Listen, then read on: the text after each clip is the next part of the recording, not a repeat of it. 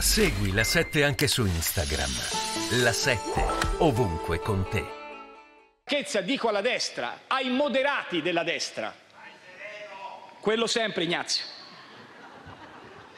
Ti potrei chiedere i diritti d'autore, ma non lo farò per rispetto personale e per antico sentimento di amicizia. Ma guardate che, che Ignazio La Russa sia contento è comprensibile.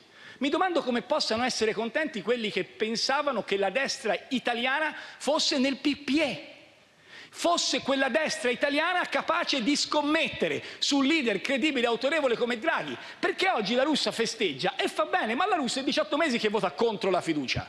Sono i moderati del centrodestra che oggi segnano la loro scomparsa politica. Piaccia o no